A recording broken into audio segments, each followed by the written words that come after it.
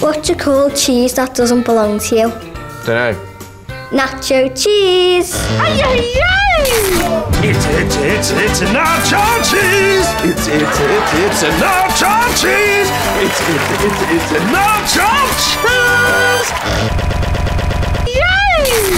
It's, it's, it's, it's a nacho cheese. It's, it's, it's, it's a nacho cheese.